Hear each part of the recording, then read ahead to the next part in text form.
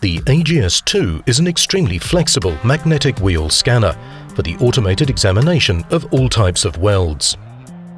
The AGS-2 has been of great value to the wind power industry for many years. Its continuing development ensures a highly reliable scanner which is particularly suitable for on-site testing of both circumferential and longitudinal welds in wind turbine towers.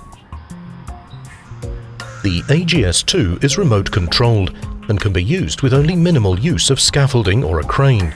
In fact, neither are used very often. The AGS-2 also only requires minimal manpower. At most tests, it can be operated by just one person. A key feature of the AGS-2 is the great flexibility that it offers.